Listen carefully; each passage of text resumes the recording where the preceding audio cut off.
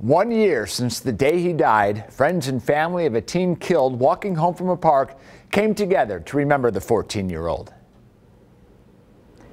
The woman charged with hitting him and leaving the scene is still out on bail, scheduled to face a jury this summer. And Kim Passoff is live out at the Whitney Library where the teen's life was celebrated tonight. Kim?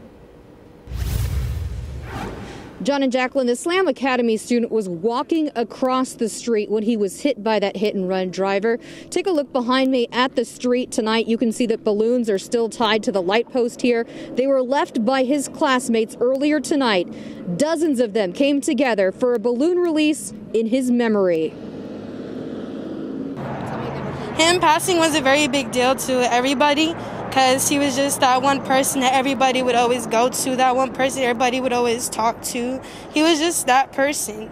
And when you're missing that person, everybody comes in together.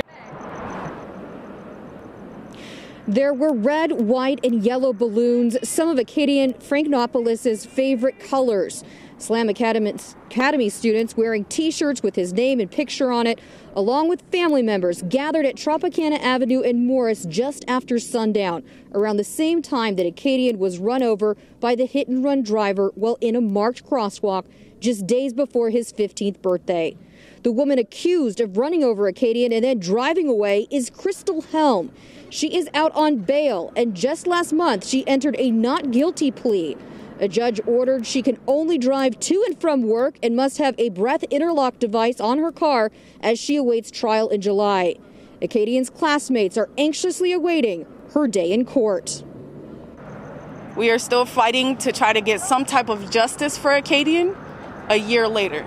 You would think that a year later this process would be easier for these kids, but it's not. And there have been changes here at the intersection since the teen's death one year ago, but his friends say it is not enough. And I can tell you firsthand, I have seen it tonight, even with the flashing lights here. When people are waiting to cross, drivers are still going through this intersection. And his friends say that they do not want to see another life lost here. We'll continue to follow it and bring you updates. For now, we are live in the East Valley. Kim Passoff, Fox 5 News, local, Las Vegas.